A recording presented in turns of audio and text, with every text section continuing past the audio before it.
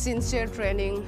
Uh, that is my principle. Many people they invite me, and even the governments. Uh, there are so many programs have to be attend live.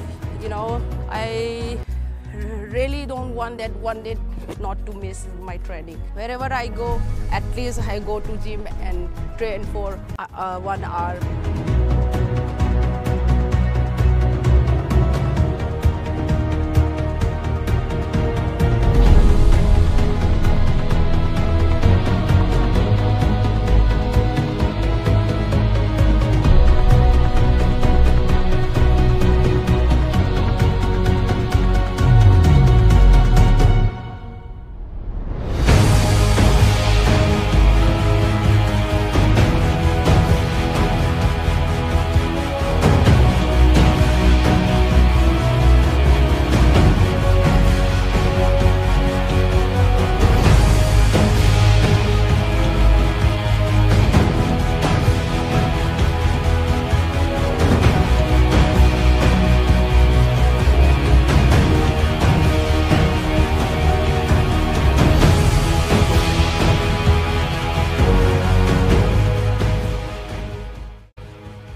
You're an inspiration for young boys, especially girls, all across the country. very much happy. At least I, I did something for my country. Once the girls they took a boxing, they will have that confidence. Once they go uh, out, you know, and work alone. Yes, I did. I train boxing. I- I'm not scared.